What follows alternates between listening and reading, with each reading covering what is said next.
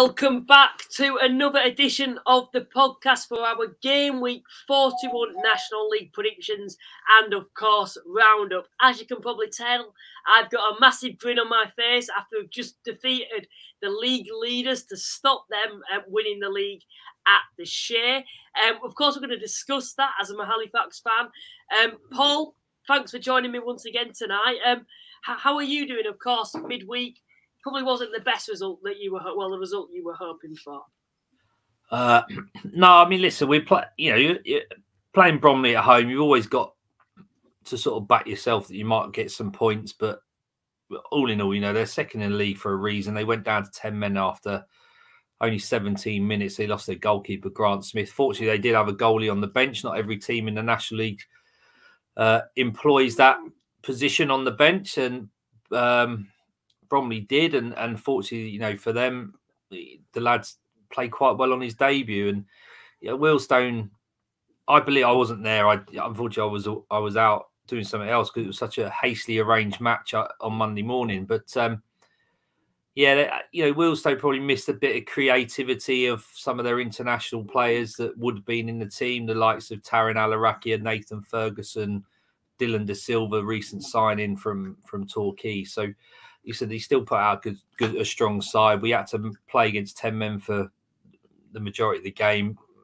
created chances, but and Michael Cheek and quality up top told in the end, Luke, and uh, you you can't give him a sniff. They've given him one decent chance. Well, it's really half chance if you look at it. He's hit, hit the ball low and hard across the goal, bottom corner. They go away with three points and they're on the tails of, of Barnet and, and getting that second place. Yeah, they certainly are. Of course, that's an area as well where you've got Barnet and Bromley in second and third. Do you think that's kind of wrapped up now, the top three, where Chesterfield, of course, we know they're going to win the league probably this Saturday. Um, and then you've got Bromley and Barnet. Do you think those two sides have solidified their places for that uh, one less game in the playoffs? I think so. I think they're now going to try and do what they can to uh, to get that second place. They've got home advantage right the way through in, into the to the final. So, you know, Bromley are going to fancy that themselves at home on their pitch and the way they play. You know, Barnet not so much.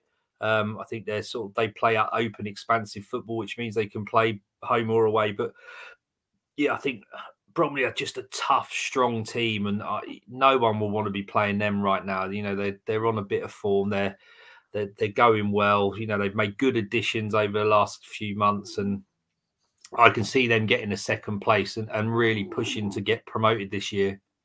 There, for me, and um, it's a big if because although we won last night and won good fun, as I know as a Halifax fan since I've been supporting them, you don't get carried away because it can just change like that. And we've, we've seen the dynamic of the leagues just changed within one game week or a couple of games mm. where we think sides are going to finish where they are or do better and then they just fall off a cliff. So I'm not taking it for granted at all. We've still got a lot of work to do. But if Halifax did finish inside the playoffs, the only side that I would fear would be Bromley, and that's going away because I just think any side that goes away to Bromley is probably, I think, besides Chesterfield, the toughest place to go. Um, is, is that something that you'd agree with? And maybe if you was a Halifax or an Alty or an Aldershot, or maybe if Gateshead Oldham get in, um, would Bromley be the side that you'd fear, or would there be nobody, or is there anyone else that you might fear? Um, the... Yes, yes, and no. I mean, uh, the Barnet and Bromley do very well in cup competition, so they're used to that sort of knockout football scenario. Um, Bromley probably are even are better at it than Barnet. Barnet have fallen short last couple of years in the trophy, for example, whereas Bromley have gone on to win it. Whereas Brom, you know, and Bromley have got experience of the playoffs, which is going to be vitally important this year. They, you know, they don't want to sort of lose out like they did last year, so they're going to be looking at that as a bit of a motivation tool, I suppose. Listen, the things like the the, the play the, the teams like Halifax, for instance, they're going to be on uh, on on a sort of uh, of an opinion that they can be anyone because they're coming into playoffs in the bit of form. You you see it throughout the football leagues, don't you? That the teams that make that late charge into the playoffs tend to do well, getting right the way up to the final or maybe yes. beyond. So Halifax have got to look at that and go, actually, I really like the idea of of you know we could beat anybody, but it, it, we still got so many, we've got seven, eight games to play, Luke. It's, it could turn, turn on its head again. So, yeah, well, I, I just want to get get your takes on Halifax. Of course, I'm going to give my opinion, but of course, you look at their form at the moment. They've only had, you know, one defeat. I think is it in nine games. Well, I think in the last, um, I think is it eight games. They've had one defeat, and these, these seven games they've actually won. Um, so you know they're top of the league in the form table at mm. the moment. Um, for you, you look at Halifax. Would you be backing them to finish inside the playoffs at the moment? Of course, they, they have got some tricky games coming up. Although it is one of the easier runs, we've still got Oldham at home, Barnet at home, Hartlepool away, which will be a tough place, and then a few yeah. sides that are playing for something towards the bottom in Kidderminster and York. Um, would you be backing Halifax to get in the playoffs? And what do you see in them overall in the last couple of weeks? Yes, I, I would. I mean, when we did our predictions some weeks ago, I had Halifax in the top top set top seven. Um, yeah. I, I can't see that changing. Like you said, Luke, you know what? One one loss in eight games and beating Chesterfield at home is going to be a massive flip for them. You'd like to think that maybe a few more fans will come back, so the Shay gets a bit fuller and it becomes a bit more hostile. And like you said, the pitch isn't brilliant, so that plays to their advantage maybe a little bit listen, Halifax are that team that are are the ones that are pushing through. You know, Altrincham have faltered recently. Gateshead, not so much. Oldham are their own worst enemy. You know, Barnet, Bromley, and Solihull have been there or thereabouts the whole season. Aldershot have slowly, you know, moved up and got themselves into that position. Whereas it's it's Halifax. I know they've been in and around it, but they're the ones that have pushed into it in the last couple of weeks. And you know, with a month to go in the in the in league, they're going to really going to look at it and think we're the team in form. Let you know, let's go and, and hold out. You know, what is it? It's only two points, and they could drop out of it. So it's just so tight, isn't it? But I think I think Halifax, because they're that team in form, they're going to really try and sort of stay in that fifth, sixth, seventh position. Yeah, for me, when I look at Halifax at the moment, I see a side that's hitting form at the right time. You know, we've got six games left to play for, no, seven games, sorry, Halifax have got left to play. You look at how we're playing at the moment, I think most people will be backing us to get inside the playoffs. And for a side to be going in with form in the playoffs, it's probably better than the side that's finished fourth, potentially, who's yeah. been, you know, just consistent throughout the season. You know, I actually probably, if we got into the playoffs this season, I would be less nervous and probably more confident and optimistic than the season when we finished fourth and probably should have finished third or second because it was so I think damaging not finishing in the top three. It kind of drained the energy out of the playoffs to have to play the extra game against Chesterfield, and we ran out of steam in that playoff match and we lost to them. Where this season we're coming in with form, size don't particularly know what to expect from us. We're a bit of an unknown quantity coming into the playoffs because we haven't consistently been in throughout the season. So for me, I think Halifax, they're a side that in the playoffs, I would be fairly confident as much as I can be, being a supporter of Halifax, that we'd we'd actually do quite well in the playoffs. Um, I want to ask the, the people who are watching, um, who, who is it that you think in the playoffs could be a bit of a dark horse this season? Um, because for me, I, think you know you could put you in the top nine at the moment. You could have a strong argument or any of them getting promoted um, through the playoffs. Um, just looking a bit further down from Halifax, then you've got Altrincham, Gateshead, and Oldham. Altrincham, of course, make up that final playoff spot. Um, do you think they're going to fall out? Uh, do you think Oldham will get back in? How do you see that going? I know it's a question. It's kind of a, a repetitive question, isn't it? Now, because mm. keep asking you it, but yeah. I mean, the good thing about Halifax, Luke, is at the last eight games they've only lost one, which was to Bromley. So you know that's that's fair enough. Um, Bromley beat most teams. Halifax have only let 44 goals in in the whole season. Yeah. Chesterfield let 55 in and they're top of the league. So, you know, going into the going into the the playoffs, if you've got a miserly defense, they they often say the championships are built on defenses, you know. So you, they've got to look at that and go, well, if we can get our scoring boots on, which they clearly have in the last eight games because they've scored more than one goal in all but one of those games, which they did win 1 0. So, you know, if you're going to defend well enough where you're only going to let one goal in maximum, and you're able to score more than one, you're going to win games. It's as simple as that. And that's what Halifax are doing well. the, the challenge you got with the likes of Aldershot, Altrincham, Gateshead, and Oldham, I would suggest is that they can score goals, but they can let goals in. And you know, when it comes to to playoff football or knockout football, eh, it's a really tough thing to try and then sort of put into your mind that well, if they score two, we're going to score three because the mentality in knockout football, cup football, that naturally changes. It's a different way of playing to the way that you play in the league.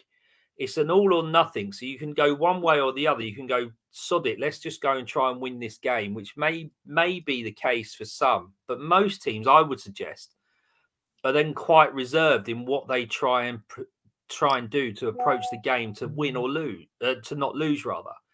Now, if Halifax have already got that mindset right the way from so from from match day one, which they clearly have, because that we've often said that they're good at defending. It's yeah. not always the top end that they're they're too potent in. They're going to start scoring goals, and they're still miserly in defence. They're going to be suited better, I believe, in playoff football to the likes of Aldershot, Altrincham, Oldham. That's notwithstanding that those teams are have got quality and on their day with the likes of Con Clark and the likes of um, Will Grigg or um, you know whoever it is that might be up top, up top and in the creative positions, that they could produce something. But if you're well established and you're well drilled and you're well organized and you don't let many goals in, you've got a great chance of progressing. Yeah, I, well, I totally agree with that. You know, it's not always about the prettiest football, is it? Particularly in important, crucial matches like playoff games. It's about getting over the line. And it's something that I think in this group of Halifax players is they're a team of warriors and, and fighters, in my opinion, from what I've seen. We're not the most attractive team to watch. You know, if it was a choice of watching Aldershot or Halifax at the moment, you'd probably pick Aldershot over Halifax to watch if you was a neutral to watch a better game. But for me, the way we're playing at the moment is we're very hard to break down. We're probably the most organised side in the division, apart from Bromley, I would say. Um, so for me, I think Halifax is certainly a side that people should be keeping a close eye on it in these playoff spot in the playoffs. Um, if we manage to maintain this playoff spot at the moment, because it is in our hands now.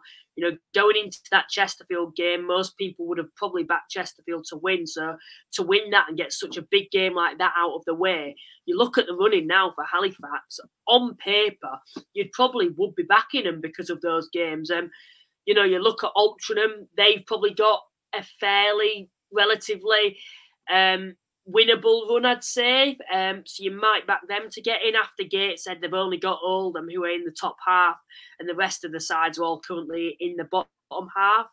Um, and a few of those, I think, by the time they're playing and won't have much to play for. For me, you look at Gateshead, they've probably got the toughest run out of the lot, and they've got more games to play as well with the FA Trophy. So for me, with Gateshead, I personally feel they're going to be that side that falls short. Um, you know, they've still got Bromley to play, they've got Aldershot, Chesterfield, they've still got to play, Altrincham. You've got sides like Hartlepool as well, who are on their day clearly have the quality to hurt sides too. Um, so for me, I think Gateshead they're the side that I think is going to fall short um, and not get inside the playoffs. And then I personally think it'll be between Oldham, Altrincham, and Halifax to make sixth and seventh.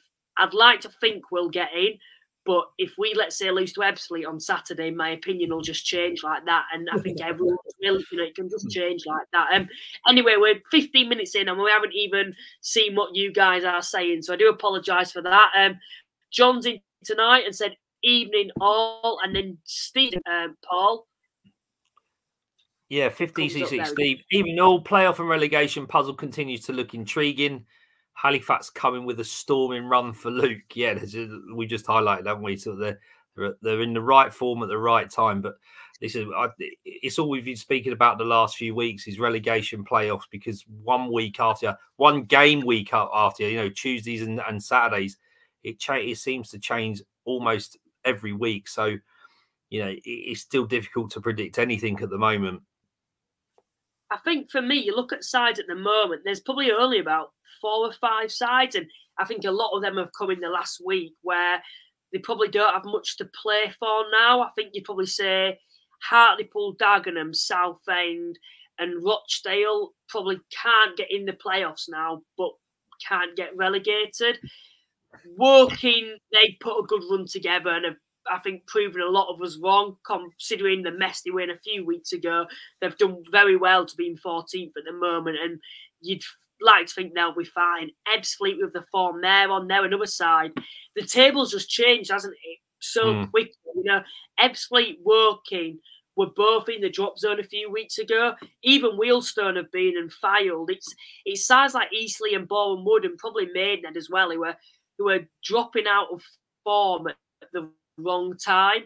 Particularly when you feel like the size of Kidderminster have still got a bit of a run in them because you know you, you look at Kidderminster, the form they've been on this second half of the season is probably top half form, yet they still find themselves in the drop zone, and that's how tough this league really is. Um, Dorking, you know, they're another side that are looking like they are probably going to go down as well. Um, you know, they've got some tough games to play. Bromley, Aldershot, they've got uh, Barnet as well coming up, and Altrincham as well. Um, do you think they're a side for you, Paul, that you think are down, or would you like to think that they'll be able to find some fight in the last couple of games to cl- climb away? Well, I, I always I always thought that they they they'd do enough. You know, they've got got an unorthodox manager in Marc White, but one thing we do know he's a winner, and you know he's 15 promotions in 22 years or something ridiculous like that that he's had with with uh, Dorking. They've never been relegated. He's not going to want that record to be tarnished this year. He's going to want to stay in the National League. They've invested heavily in their ground and, and their squad.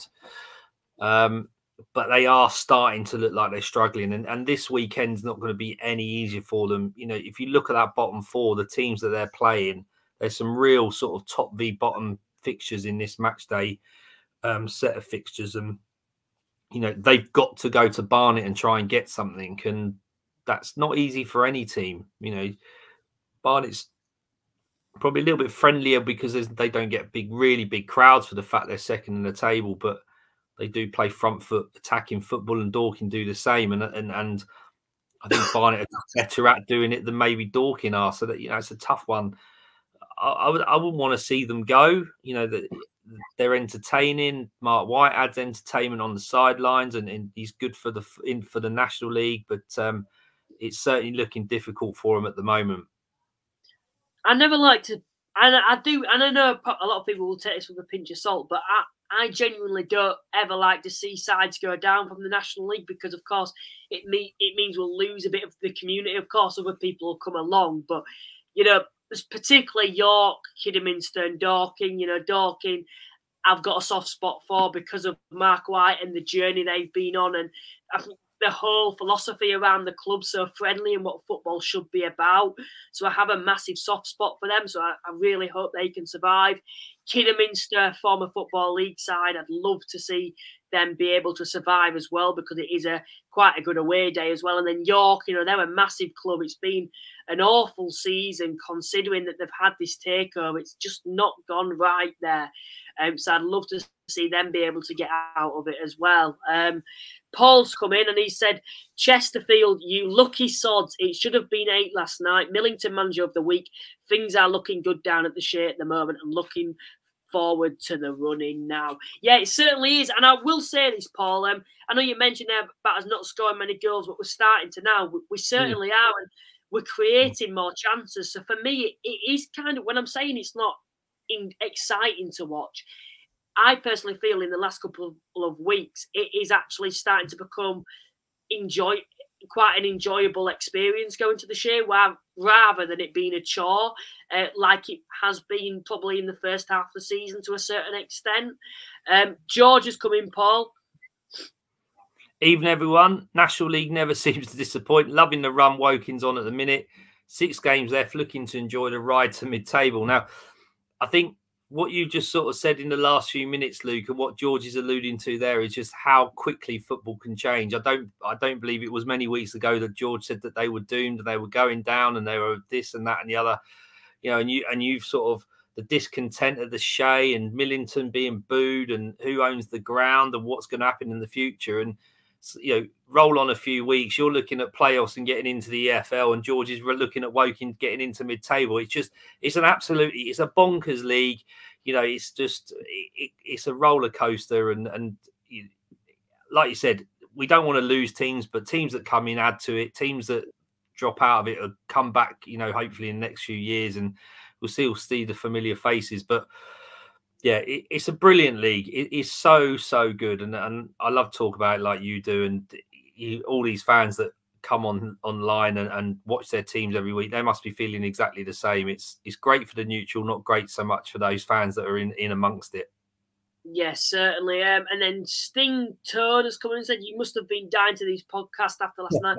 Yeah, I certainly was. I am in a very good mood. Um, ask all my mates at, at college about that because um, I've certainly been celebrating today. And then um, Lee's going and said evening all, and then uh, Caroline's going and said shots fan Luke, your team played well last night. You are very close to us now. Yeah, we certainly are. Um, Aldershot, they're a side that are also on fairly decent form and have picked up some very big wins in the last couple of weeks.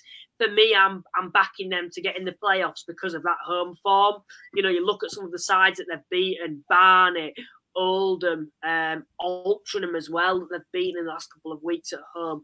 You'd like to think Aldershot will be able to do enough with the home games remaining to be able to confirm a playoff spot. For me, though, I think it's crucial that they get fourth or fifth in the playoffs so they can have that home tie at least for the quarter final um, playoff game. Um, I think they need to have that home tie, in my opinion. Um, and then David's coming, Paul. Hi, David. I just don't see Dorking going down. Marc White is a different type of character.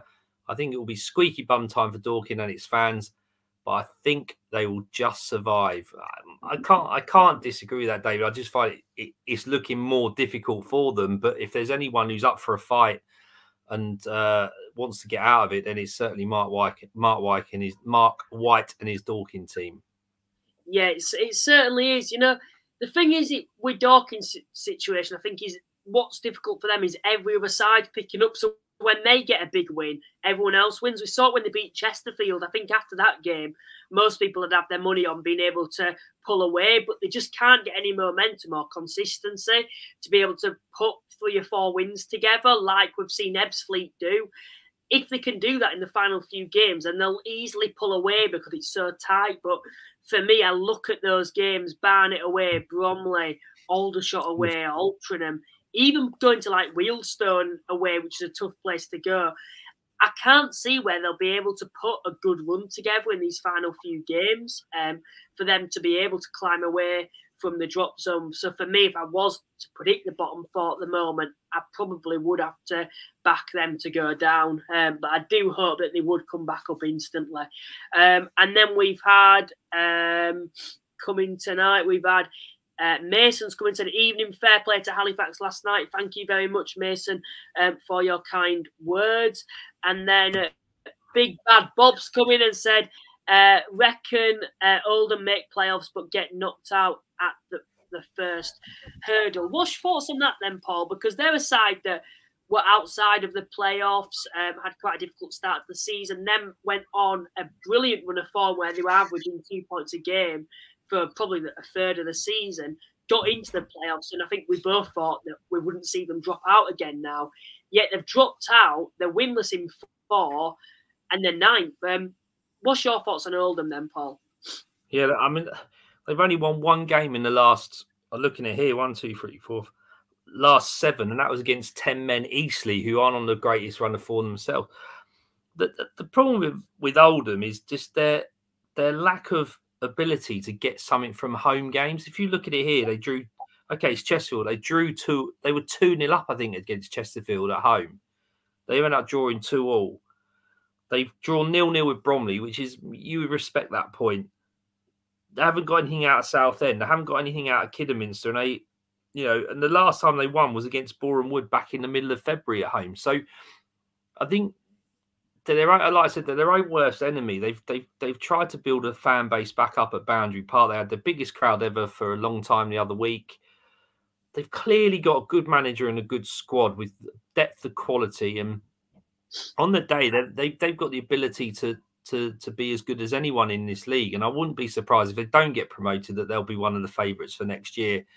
Um, Micky Mellon will get his sort of house in order pre-season, get his own players in, and and, and what have you. But they're a real conundrum because they're not very good at home and they haven't been, and and that's going to play on their minds in the playoffs. But at the same time, they got some experience and characters in their squad that I think may have been there or thereabouts in playoffs and and and cup football, and they may know what it takes to get through. So the, the first challenge they've got, Luke, is they've got they've got to get in to the playoff positions, and they're the reverse of Halifax. They're doing right at the wrong time. They're they're, they're going this way, whereas you boys are going up. So you know they've got to rest the slide. They've got Dagenham, Fylde an Alty, three, four winnable games that you'd like to think they could get points out of, and and from there, who knows?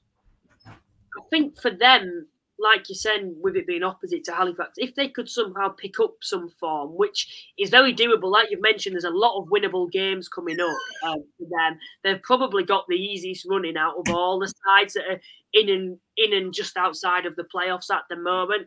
If they could mm. finish or seventh for them, it probably benefit them because they're away from home and they'd be that kind of Grimsby type of side of a few years ago where they might be able to sneak through with that mentality that they've got, you know, a big away following going to all these places. But for me at the moment, um, they certainly need to start winning games and put a run together in, in the final few games. Otherwise, they won't even get that opportunity to get promoted in the playoffs um, come the end of the season. Ollie said, I think Halifax will fall short um, and Alty and Oldham will make the playoffs. So he thinks Gateshead will not get in either. Um, and then Tom's come in and said, um, who do you think will make playoffs and who misses out? I think Solihull misses out. And Oldham. I've noticed something about you, Tom. To say you're a Solihull fan, you're very, very negative uh, about your own team. Particularly now you guys are playing. We haven't even needed to speak much about you at the moment because you're just going along quietly doing your business and, and getting the jobs done. Um, no, they'll they'll be inside the playoffs. Um, for me, I'm going to say Gateshead are going to miss out, and I'm going to say Altrincham. I think Oldham and Halifax will be able to get in. Um, I might be being a bit biased there, Paul. I'm, i know I'm putting you on the spot. I do apologise for that, but who would you say misses out? I think, I think you're right. I think the top seven as they are, I think will stay the same. The only thing that might change is the fact that when you look at this, Gateshead have got a game in hand, and if they can win that game in hand, I don't, I don't know who it's against, um, but if they can win that game in hand, then that that will help them immensely because it is so tight in that sort in that section um, you know, if they win the game in hand as it stands today, you know, they would they would drop into sixth place, potentially fifth. Looking at goal difference, working out their goal difference is probably yeah. slightly better as well. So, yeah, I think that's the massive one for Gateshead. That's something they've got to hang on to. They've got that game in hand, but it's easier said than done. Points on boards of board, as we always say, is probably better. So. I think you're right. Maybe Gateshead and Oldham are going to be those that just just don't quite make it oh, so, so you're backing it. You think, oh, right, fair enough. Then so you're agreeing with me on that. Um, yeah. And then we've got. I'm saying, didn't I think I said Oldham will get in, um, and then Altrincham are going to slip out, in my opinion. Right. Just got a feeling with Oldham, with that running, it would be I'd be shocked with, with, those games, and it'd be a massive disappointment if they didn't manage to finish inside the playoffs come the end of the season with with those remaining games for me. Um, and then we've had Ryan's come in and said uh, Scunthorpe are massive. We hope to see them return next season, and I have missed Scunthorpe. Um, you know, it'd be good to see a, a big side with, with, a large following be able to come into the league because they certainly are a side that would add something to the National League, in, in my opinion. Um, and then Big Bad Bob's come in and said Barnet, Bromley, Aldershot, Solihull, and Halifax, and Oldham to make the playoffs. So he's thinking Gates and an Altrincham will finish just outside. And then our mate from Australia said, Good day from down under. Ray's coming, Paul. I think after last night, Halifax will go up. Hopefully, it's party time at Chesterfield this Saturday. So, yeah, Chesterfield fan backing you there, Luke, being kind Fair after you dropped them 4 2. Yeah, I think Chesterfield are going to finally lift the trophy at the weekend at home at um, is it Salt? Is it called Saltergate still? But uh, yeah, I think they're going to uh, they're going to win the trophy on Saturday. So party time for them, and then we can concentrate who finishes in the the playoff positions. Tom's come in and said, which teams um, from the National League North and National League South would you like to see in the National League next season? Uh, it's another one you keep putting us on the spot, Tom. I don't mind, but if I can remember rightly, it looks like Tamworth and Yeovil will definitely be coming up because they're winning their leagues. Um, Yeovil, of course, they're a big club. It's good to see that they'll be back in this division. They should never have been in the National League South. Tamworth, they're new. I can't remember them last being mm. in the National League. I don't think I was watching football at the time when they were last in the National League. So it'd be interesting to see what they do. I think they'll be hoping to not make the same mistakes as we've seen other sides that maybe haven't had much experience in the division in the last couple of seasons, like um, Oxford and, and and Waterloo and, and your Weymouths. They'll be hoping to be able to survive that first season. Um, who else is this? Scunthorpe, I think they're second, and you'd like to think that they can come up in the in the National League, North. The South, that might be where I ask Paul. Um, who who would you like to see come up with Yeovil then, Paul? Well, it, you know when we talk about being on form, Braintree currently are sitting in um, third place, just behind Chelmsford. They've got a game in hand on Chelmsford, which would take them within the two points of them. But when you look at their form, and this came, someone pointed out to me, eh, you know, in the um, at the weekend, and typically they haven't lost since the first of January, which was against Chelmsford. So in the last one, two, three, 15 games they haven't lost. So Braintree are the team in form. So you'd like to think if they carry on doing that within the playoffs, then it'd probably be Braintree that we see, who I believe have been in the National League, uh, you know, in, yeah. in the recent past. Um, Chelmsford, I've seen them play a couple of times over the last few years. Wealdstone have played against them in cup matches. Very good side. Robbie Simpson's doing a great job down there. You know, they don't get a massive fan base it's it's a Gateshead style stadium, so it's not the best in terms of a of a National League experience, uh, but they certainly use it to their advantage, and they're very very good, very nice people down there, and you know very welcoming club. So I, I think it it was going to be between maybe Braintree and Chelmsford. Um, looking at the other teams, Worthing have slipped slightly. Maidstone have had their eye off the ball with the cup. They might sort of start pushing on again and staying in the playoffs. St Albans are a good team. They lost their manager to us at Wealdstone, and they've managed to carry on, and they've they've um, kept the, the chap that was in charge sort of in the interim basis until the end of the season and going into next year. So they've got a bit of stability. So, uh, yeah, I think I think Braintree are probably the favourites. Just looking at their form, if not, it would be Chelmsford. Where is Brain? I never went. I, I remember Braintree being in our league and seeing them come to the Shay, but where where are they based, Braintree? Braintree is in Essex.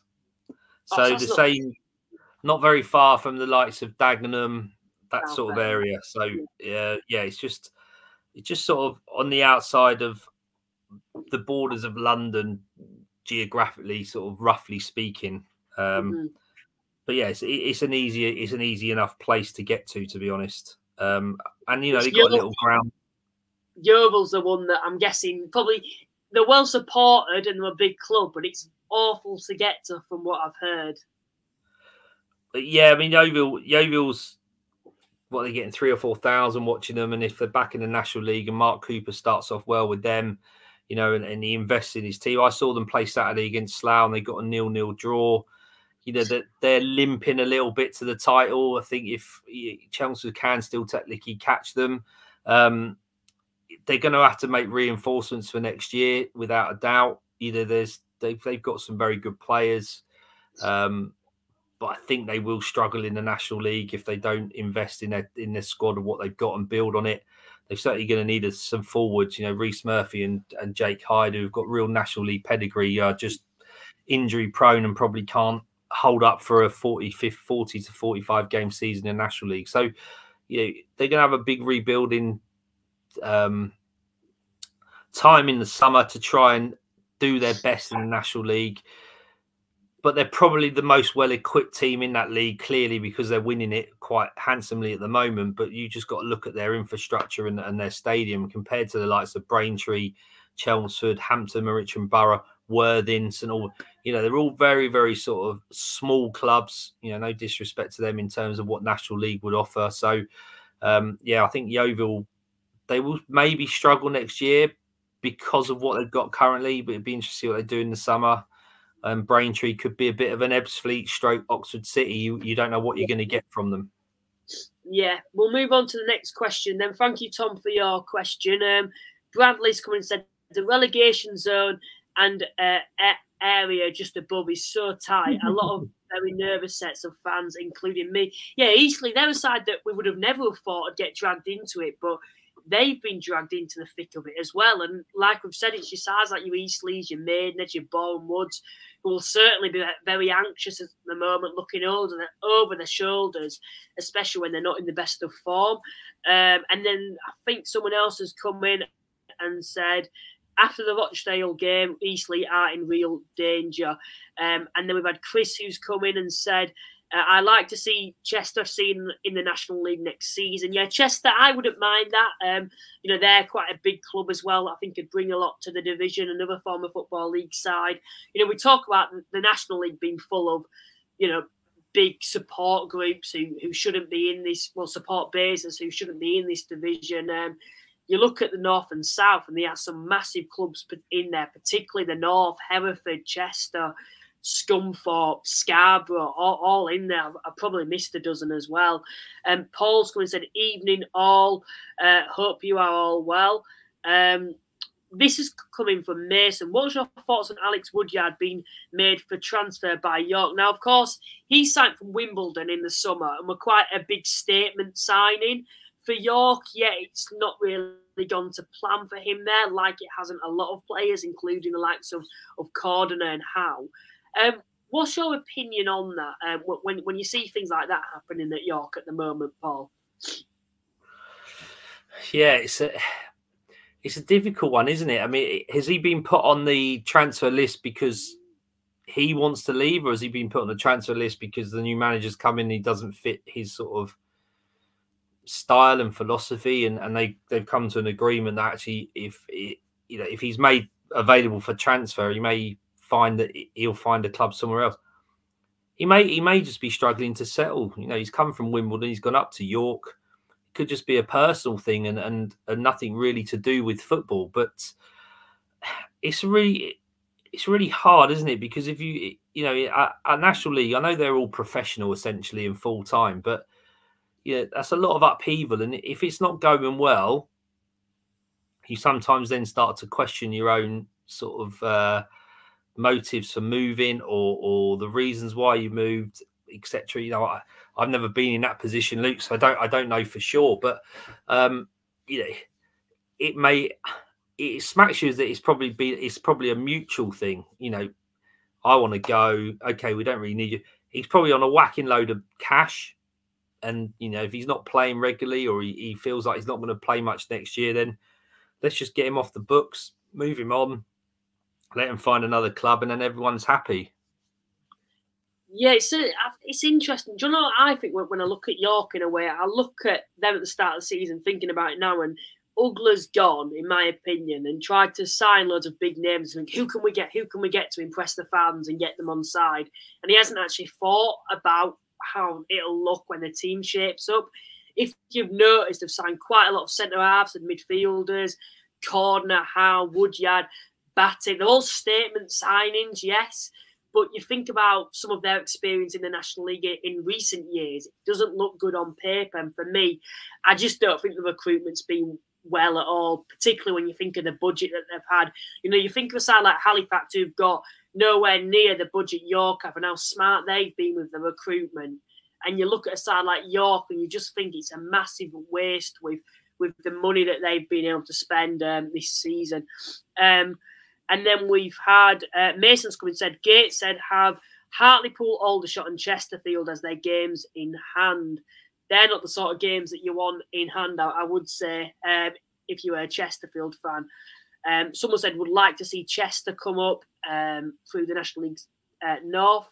And then we've had uh, Christopher State, State Story, sorry. Who who do you both think will win the FA Trophy? Hopefully they he can have with last year's um, defeat. Who's still in there? You've got Gateshead, Solihull, Macclesfield, and, and is it Barnet? Bromley. Bromley. Bromley. Yeah. I think I'd be backing probably Bromley to win it again. You know. Yeah. Um. I mean, Wealdstone played Solihull in the quarter final, and they they were unlucky not to win on penalties. I think you know, fair play to Solihull. They took their chance. They won the penalties and uh, threw on penalties, but they weren't the most impressive side that we've seen down at the Vale. Um, you know, whereas Bromley have beaten Wealdstone 1 0 with 10 men, you know, midweek. So I don't know. I think you're right, Luke. Bromley are just just that juggernaut of a team, aren't they, in the National League? And uh, I think they'll finish second, get promoted, and win the FA Trophy. Yeah, it, it wouldn't surprise me at all. Macclesfield, you know, they're an interesting one, and the side that I'd expect in the upcoming years for us to be covering on this podcast mm. on, on a regular basis uh, with what they're trying to do there. Um, their side, it'd be such a great story if, if they can get to Wembley at least. Um, I think have they got um, they've got Mackle uh, Gateshead, haven't they, away, mm. which will be a tough game, I think, for them, but certainly a game you'd like to think that's going to be winnable. Um, Tom's coming with a five pound donation, so thank you very much, Tom, for that. It is much appreciated. He said Barnet, Bromley, Solihull, Aldershot, Gates, and Halifax for playoffs, in my opinion, and hopefully the outcome will be the shots winning it all. Tom, thank you very much for your donation. Um, it's much appreciated, and the money will be going back into um, making the podcast better. Um, we've had um, Paul who's come in and said it's amazing Woking Bournemouth in playoffs last season and both could be relegated this year. Yeah, it's just how tight this league can be. We've seen it happen before. Fylde, they went down the season after. Braintree and Ebbsfleet, I think both had fairly respectable seasons in the season prior to them going down on the first time. Um, right then, I think we'll we've come to a point where we're probably ready to do our predictions. Um, these are the scores on the doors. Paul, you defeated me for once. Um, you picked up, I think, six points, and I picked up four points. Thoughts on that? Oh, it's clawing it back right at the end of the season. So yeah, it's down to less than ten points. So um, another couple of good weeks, and it could be a bit of a squeaky bum time for either of us going into that last month of the season. Yeah, it certainly is. You're kind of doing a bit of a maybe a bit of an Ebbsfleet and trying to get a good run starting to go, or maybe even and hoping to catch me. Um, I'd like to think I'll be able to keep this lead, but you never know. We've still got six games weeks to play for. This is how the table looks at the moment. Chesterfield, of course, defeated in midweek, but do have that opportunity to to gain promotion back to the Football League um, if they can defeat Boreham Wood on home turf. I think a large proportion of their fans uh, might see Tuesday, Wednesday, sorry, is a blessing in disguise, so they can actually win it on home turf. Barnet and Bromley in second and third. Solihull, Aldershot, Halifax, and Altrincham make up the playoffs. Halifax have managed to climb up themselves back into the playoffs, probably after a couple of months outside, you would say. Gateshead and Oldham have fallen out. Then you've got your Rochdale, your Southend, your Dagenhams and Hartlepool, who you'd probably think have done enough to, to be able to survive, but probably don't have enough to be able to get into the playoffs. Then you'd probably say from Woking downwards, any of those could go down. Would would you agree with Paul, or do you think Woking? Oh yeah, yeah. No, definitely. I mean, the fact Hartlepool have got a couple of games in hand can push them up, whereas you know, whereas Woking Woking down you know, it's mate, apart from Wealdstone, who could who could be in a false position because of the games they've still got to play. It's unlikely. I think they'll finish there or thereabouts. But apart from that, you know, these teams are now scrambling for points every week. Yeah, they, they certainly are. I think, like you said with Wealdstone, it, it does feel like they've been a bit hard done to this season, and maybe the, season would be a total different story if they could get those games on you know, I think they're in a false position. And I think for you guys, I think you're going to be fine with some of those games. I think you've got Fylde, haven't you, on Saturday? You win that. Uh, yeah, Kidderminster on Saturday. Kidderminster, sorry. Yeah, yeah. You win that, you go up to 49 points. And um, when I've worked it out at the moment, you need about 50 points to survive. Mm-hmm. Of course, that could change. But after that, you know, you've got the likes of Oxford to play as well. So you'd like to think Wealdstone will, will be fine um, this season. Anyway, we'll move on to the predictions. Game week 41, we are on.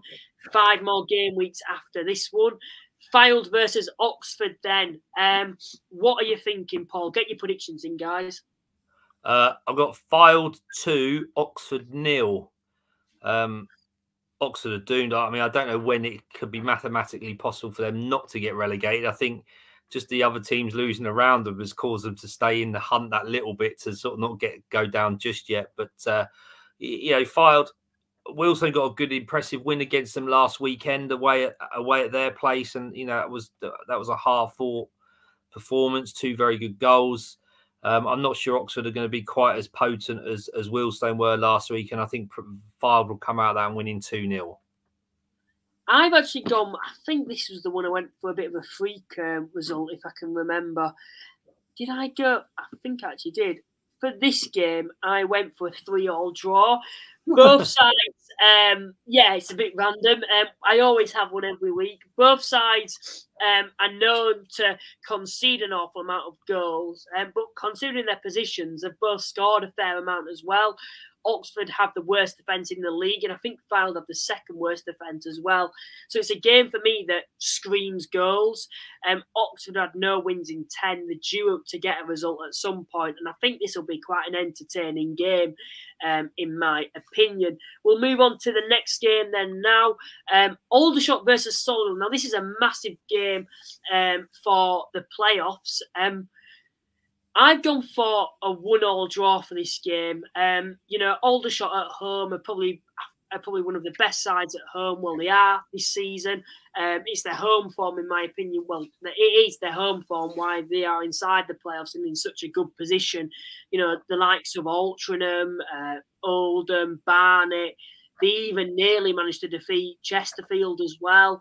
Halifax at home as well. They're very strong at home at Aldershot. Um, Solly will come into this on great form though, so I'm going to go for a one-all draw. How do you see it going, Paul?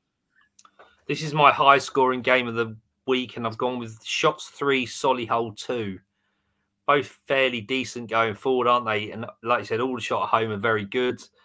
Um, Solihull are effective. They've they've you know they've sat in that playoff pool for for a number of weeks, but um, a, a good game on paper. You know, both teams are going to want to try and, and get that home position where they can in the playoffs, and uh, I just think shots are going to prevail this week and, and win three two. Next game then that we will have a look at another big game in in terms of the playoffs. Um, versus Gateshead. Um, for Gateshead, it's one of their games in hand. For Altrincham, they'll be wanting to be able to stay inside the playoffs come 5 pm on Saturday. For me, I'm actually going to back Altrincham to win this game 2 1. How do you see it going, Paul? Uh, I've gone with a 2 all draw, both capable of scoring goals, very good, attractive, an excellent game on paper in terms of the teams that are playing. And, and you know, I think if aside from the six pointers that might be of an interest to fans, you know, if I was to say go and watch a game of National League football this weekend, Alty Gateshead would probably be the one in terms of that the way that they play. Um, two, I've gone with a two-all draw. They both don't want to lose, do they? Because if they lose, you know, they, they're going to just stop, start losing ground on that seventh, sixth, seventh, eighth place, and that's going to be crucial. So they, they're not going to want to lose, but they're both capable of winning this game. So I've gone with a two-all draw just because it's, it's going to be cagey. Next game that we'll have a look at Barnet versus Dorking. This should be another entertaining game, I would say. Um, Dorking are known to be able to get results against the better teams, and to be fair, score an awful amount of goals themselves. Um, Barnet, of course, are known for scoring a lot of goals themselves, and have both been in a few crazy score lines this season. Um, for me, I'm going to go for a three-two Barnet win. I think it'll be a high-scoring game, but I will. I am going to back Barnet to win this game. How do you see it going, Paul? You, you're probably right. It could be a high-scoring game, aren't they? Both teams do like to play on the front foot and and and can leave themselves exposed to the back. I've gone with a Barnet win. I think the league doesn't lie, does it? And and there's a reason why Barnet are in the top four and Bromley, uh, Dorking are in the bottom four. So you know, I, I, can't see Dorking winning. I think Barnet will win comfortably. I've gone with 2 1. It could be more, but I've gone with 2 1. Next game that we'll have a look at, I'll catch up on those score predictions once I've done this. But Bromley versus York. For me, I think this is a tough game. Bromley have shown in recent weeks, although they are on good form, that they are known to, to be able to drop points at home. Um, you know, a nil-nil draw to Kidderminster. They're not actually scoring a lot, um, and and they're not they're not battering teams either. They're just getting over the line. Um, for me, I'm going to go for a one-all draw for this game. Um, you know, York come into this after a big win versus Aldershot, and I think if they're wanting to survive, they desperately need to start picking up results, and it's going to be difficult in the next couple of weeks. Um, because this is one of, of the difficult games coming up for them. But I'm going to go for one all draw. Um, how do you see it going, Paul? I've gone with Bromley three, York nil. Um, the only fly in the ointment might be who Bromley play in goal. You know, I don't know what their goalkeeping um, strength is like, having lost Grant Smith last night against Wealdstone for a, a straight red card. So he's going to miss a, a, couple of games at least. So that could be the only fly in the ointment. But I think York, York, I know they picked up a half decent result of the weekend, but they they are just all over the show at the moment, aren't they? And uh, and Bromley certainly aren't. So I've just gone with a Bromley three, York nil. I think it's just going to be very convincing down at their place. Yes, certainly. We'll move on to the next game now. Most people are backing Bromley. One person has, of course, backed York. I don't know if that's a York fan or not, but I think everyone else is backing um, Bromley. Apart from Leaves, also said a one-all draw for that game. Everyone's going in with their predictions tonight. Um, thank you very much for doing that, guys. Um, we'll move on to the next game.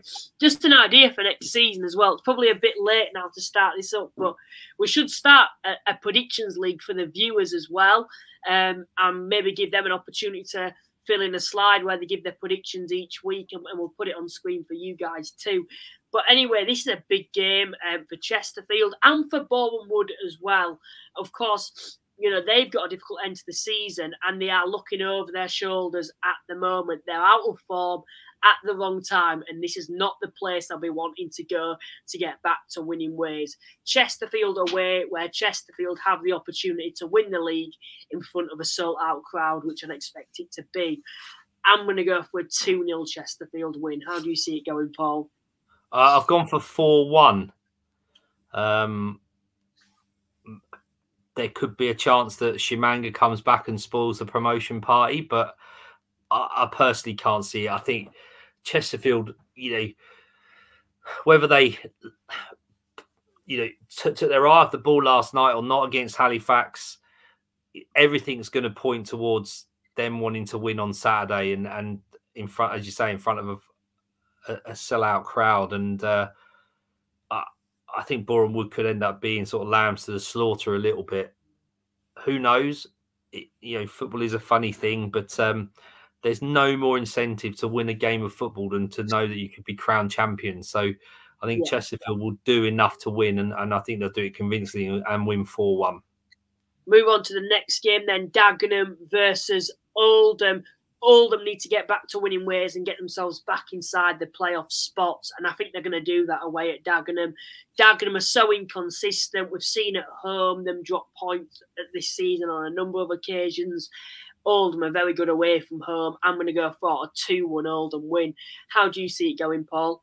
I've gone with a 1 0 Oldham win. I don't think it's the prettiest game on this um, set of fixtures, along with the Eastleigh Hartlepool, which we'll do next. I think they're the two. But yeah, like you said before, Luke, Dagenham are one of those teams that probably haven't got anything to play for.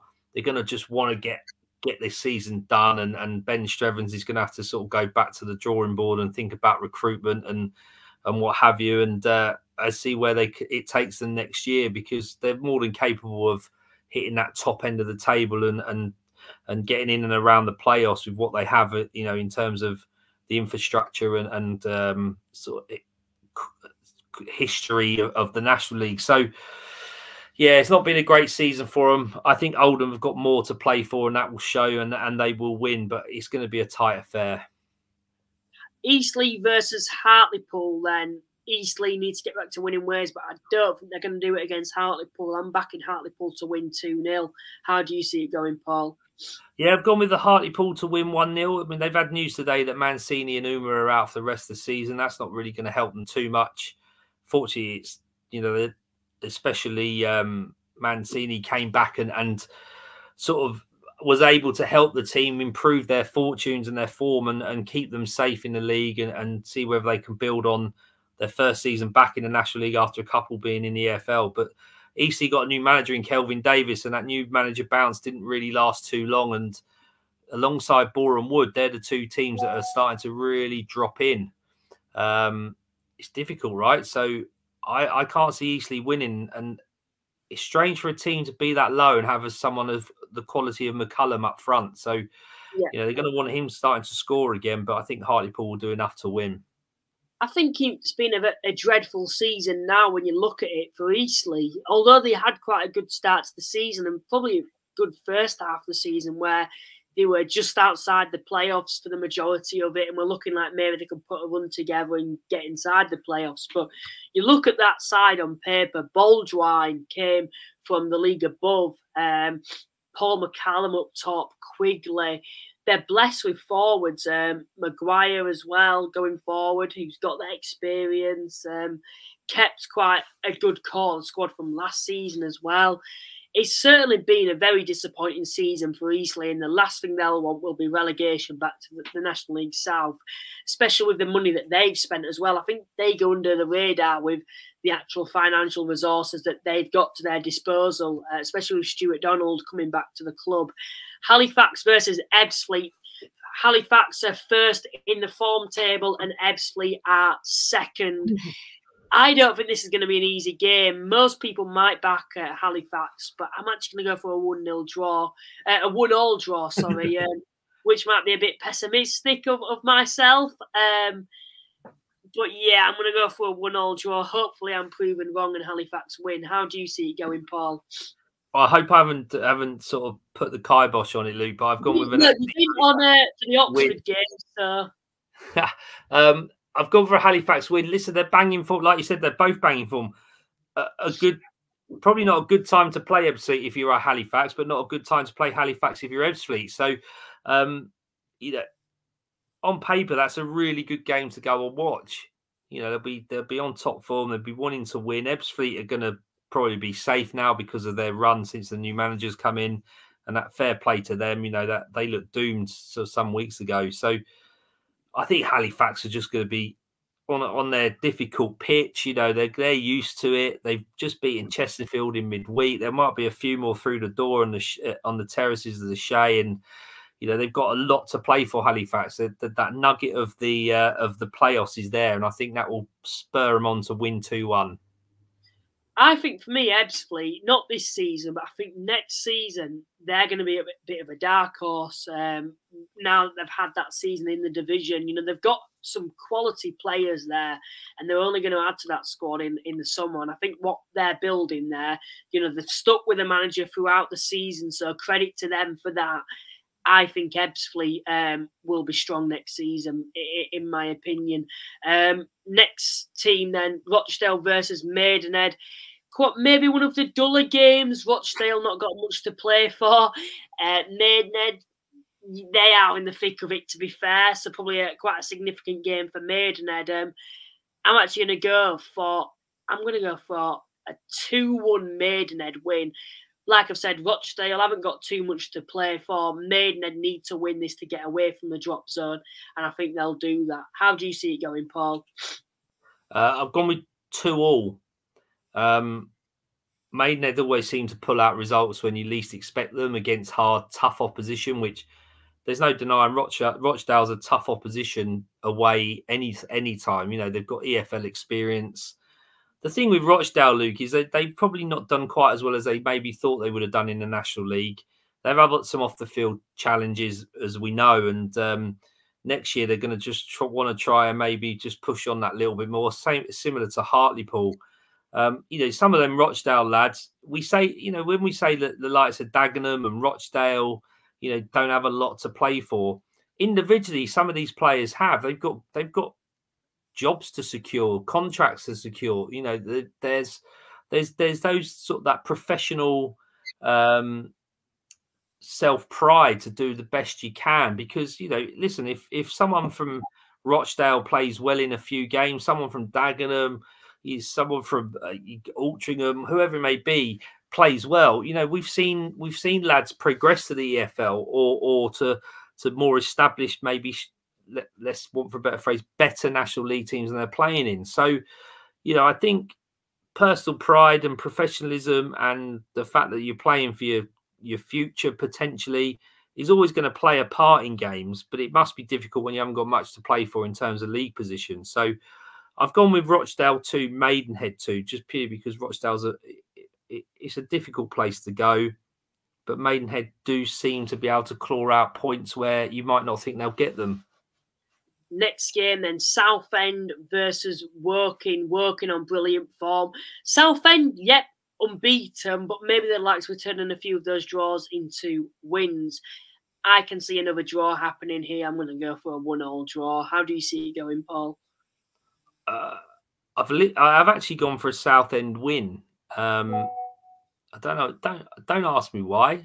I uh, I guess uh, I think you know being at home and and I just think they're just Woking are on a great run of form, um, but Southend are, are a tough cookie, and they've proved that all season with the what they've had to come up against. And uh, listen, they're not going to make the playoffs now. I don't think they're going to get relegated. Some few weeks ago, we thought there there was a real threat of that, wasn't there? But uh, they've turned the corner a little bit, and I think Woking's luck will run out on Saturday, and Southend will win there's certain predictions, isn't there, Paul? I think this is an example of that where you can't really justify your prediction, but it's kind of your gut feeling. It's like me yeah. with that Maiden versus Rochdale one. It's very hard to explain it. You know, I've just got a gut feeling for certain predictions. Um, Wealdstone versus Kidderminster, though, I'm going to back.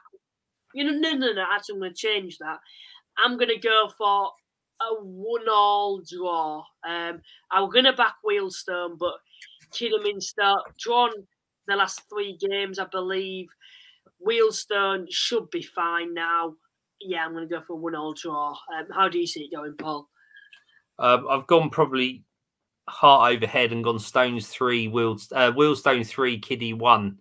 Um, it, potentially a massive game for either club because you know they could especially Wealdstone, because they could they could pull themselves away from those other teams that are playing much more difficult opposition at the weekend. You know, in that bottom four. So a pivotal game for us down at the Vale. With we, we're half decent at home. You know, we've slipped a little bit under the new manager at home, but you know, we're not on bad form. Yeah, we got a few players missing with international duty, especially in that midfield area, but you know, our squad has become a bit stronger over the last few weeks with a few additions. So I'm very confident that being at home at the Vale that that we will win. Um, and that will really help us secure that 50 point mark, you know, go towards that 50 point mark and and, and stay in the National League for another season. So I'm hoping it's a good game, Luke. I'm on I'm on the commentary with uh, Joe from Off the Line blog, who's coming down for his first visit. So, you know, I'm hoping that we we've got an entertaining game to uh, to commentate on. Yeah, fingers crossed for you guys, and I believe that more or less wraps up the predictions and of course podcast. These are the scores on the doors for those that might have joined as later. I am winning by eight points, but Paul did get the better of me um, last week. Thank you to everyone that has, of course, tuned in tonight. It's much appreciated. Um, please remember to also like and subscribe. Liking gets it out to more people, um, and subscribing, of course, grows the community even more. Paul, once again, thank you very much for joining me, and good luck to you guys.